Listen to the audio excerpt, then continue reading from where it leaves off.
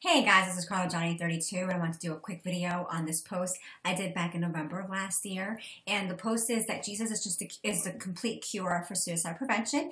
Before I continue, just want to let you guys know that I am not a pastor a woman pastor, not biblical. I am not a prophet or an apostle or anything like that. I'm just a fumbling servant of the Lord that worships the Lord in truth, just His Bible and only His Bible and in spirit. So I am baptized in the Holy Spirit. I do speak in tongues among other prophetic gifts. A lot of Christians are walking with that anointing. That in itself is biblical.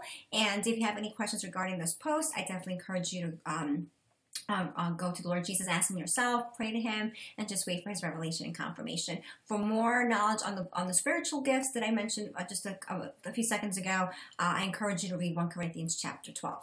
So, uh, on this particular post, um, I wanted to do a quick video because uh, suicide and depression or oppression is very, very prevalent in the in the world today, especially among our youth in our in our country, and of course adults. And you see a lot of celebrities that are also suffering from that and even taking their own lives. And I can tell you this uh, with a, with a, a more how do I say it?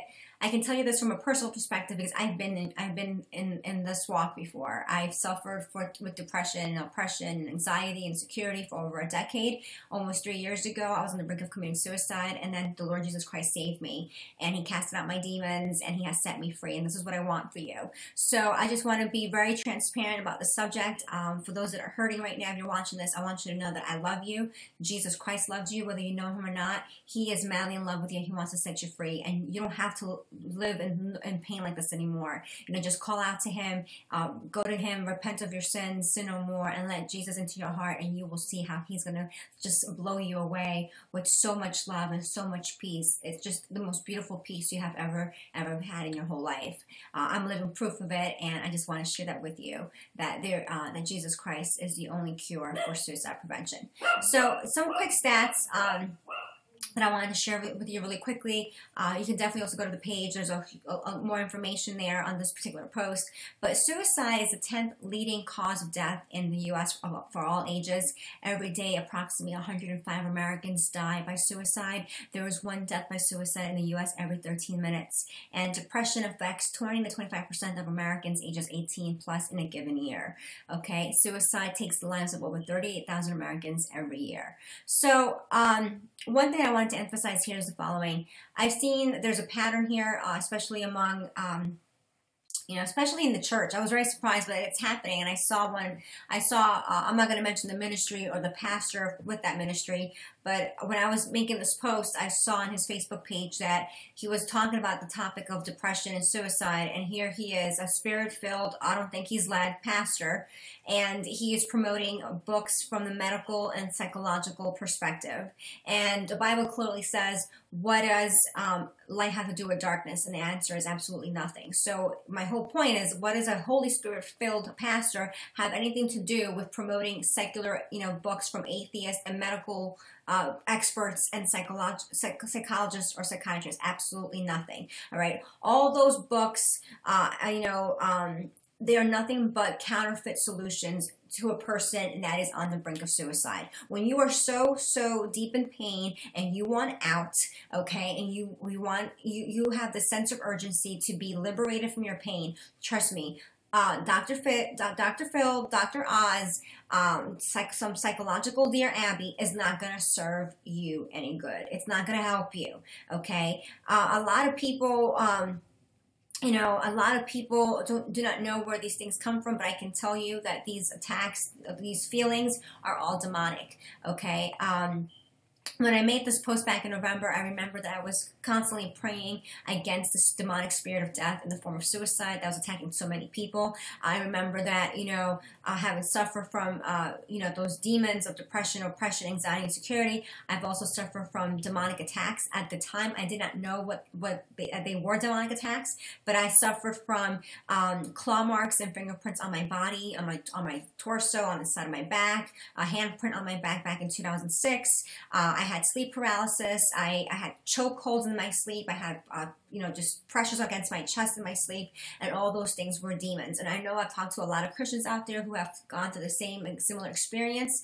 Uh, at the time, they didn't know also that it was demonic, and now that they're Christians and their, their spiritual blinders came off, they realized that those were all spiritual attacks. And that is happening as of today. It's happening every day, and a lot of people do not know where it's coming from. And I want you to know three truths here because this has nothing to do with you. You are, you know, uh, you are normal, okay, and all the demonic thoughts and demonic attacks and the depression or anything that's that's associated with it, it has nothing to do with you, okay. Uh, I can tell you before I, I, you know, as I continue this message, I want you to know that the topics of suicide and depression are very personal to me because I've been there, okay, and my heart breaks when I see millions of, you know, millions of people, thousands of people that are suffering from this, and you know, oftentimes people want to disguise their pain behind their Facebook page, behind their pictures. They want to hide it behind makeup or their clothes, or they do drugs, or they alcohol. They go shopping. They do. They have gambling addictions, or sometimes they go on vacations to escape. And I want you to know that the, the escaping and the numbing of your pain can stop right now if you open your heart to Jesus Christ. Here are some quick truths that I want you to know about you. Okay, number one.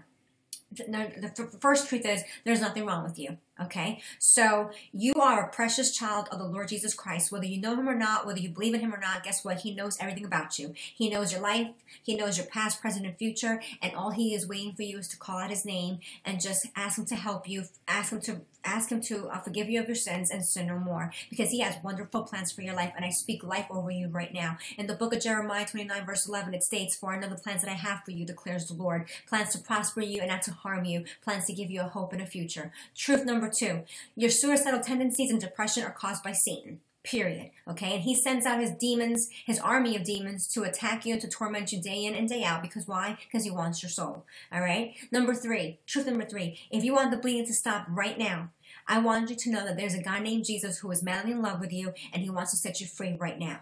Okay. What do you have to do? Just call out his name, ask him to forgive you of your sins, and just have a relationship have a relationship with him. Get a bible. If you don't have one you know if you need one message me else and i'll be more than happy to send you one okay? And just go to a church. If you need help with finding a church i'll be more than happy to help you find a church too. And surround yourself with people who are uh, truth and spirit filled believers okay? Who will pray for you and love on you. Um, one thing i also wanted to quickly address here is the following um, you know, pastors, if you are a pastor or a preacher or someone with a ministry or any Christian for that matter, please do yourself a favor, okay? Do the church a favor. Stop promoting secular books, medical books, um, books from psychologists and psychiatrists that talk about the, the topic of depression and suicide. Okay, those are nothing but counterfeits. It's not going to help your people. I remember I saw that one page of that pastor, uh, and he was promoting these books. And when I looked at, when I Googled these books and I Googled the authors of these books, they were all atheists. Why is a Christian pastor promoting uh, books from atheists to its to its uh, audience on Facebook?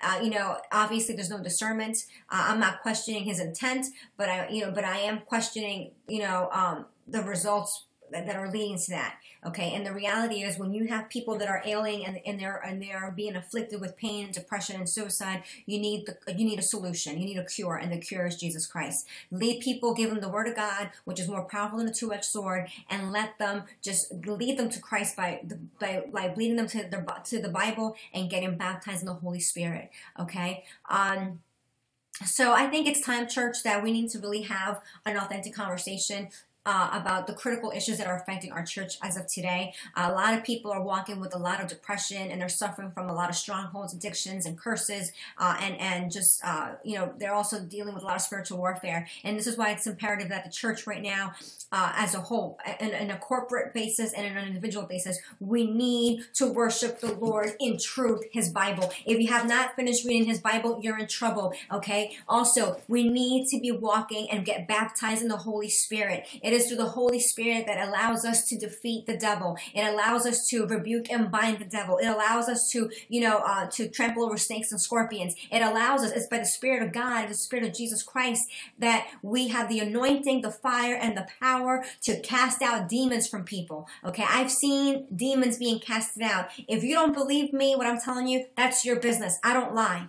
Okay, this stuff is real. If my own demons got casted out three years ago, I, I cannot afford to debate with someone who doesn't believe in it. The reality is spiritual warfare is real. If you don't believe in it, whether you're a Christian or not a Christian, go to Ephesians chapter 6 and it talks about spiritual warfare. Okay, this stuff is real. And I can tell you from experience, in addition to myself, I had a church in DC, my church family. I saw my own church friends who were spirit filled, Holy Spirit, tongue speaking Christians, okay, with the anointing of God, they had their own demons get casted out okay? And it's not a big deal what you know people think oh it's so scary. No it's not that scary okay? Um I, I have seen de- when, when the demons were cast out of my friends, uh, I, I smelled pestilence break out. I, I heard demons growl. Okay, and I saw some of my friends they were foaming at the mouth. Okay, it's not a big deal. But the beautiful thing of that situation is that once the demons were cast out, they were set free.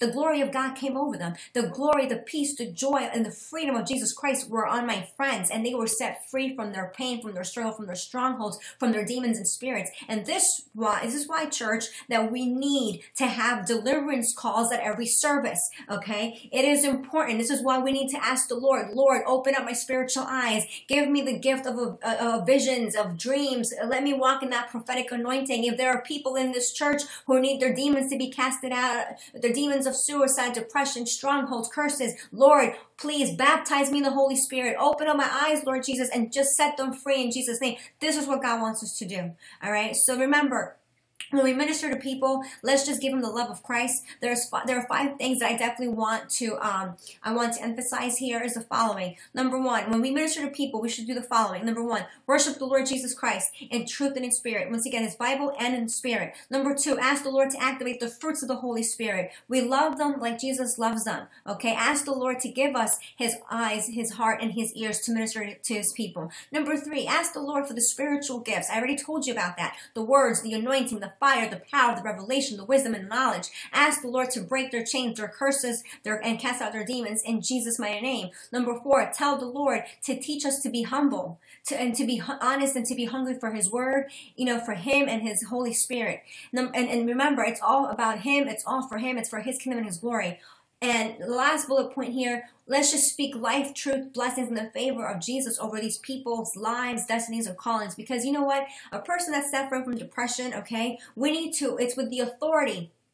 The, the word, the, the Bible says that the, the, the mouth can bless or curse. So let's bless them. Let's use the authority of Jesus Christ to break those chains and those demons off these people in Jesus' name. All right. Listen, um, if you need prayer, feel free to message me. I'll be more than happy to pray for you. Okay, let's just, church, uh, let's just come together as a body of Christ. Let's be truth and spirit worshipers of the Lord. Let's uh, help people by giving them the word of God. Okay, the word of God is a fire, it's a hammer. Okay, stop, let's put everything away and just give them the word of the Lord. All right, because remember, demons flee at the name of Jesus. And I hope this message has blessed you. Feel free to share this video with your friends and family. Like I said, if you need prayer, be more than happy to pray for you. Just message me and just I'll do do that for you. Okay, take care, be blessed.